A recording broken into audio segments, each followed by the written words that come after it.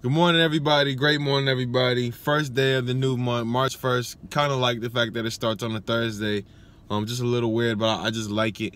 Um, I know a lot of people have probably fell through with their New Year's resolutions by now, but none of that matters. New month, you can start that over. You can still claim 2018 for yourself for whatever you want to do. Still plenty of time to get everything right as possible so you can dominate the year. Um, so just kind of wanted to share that energy with everybody this morning.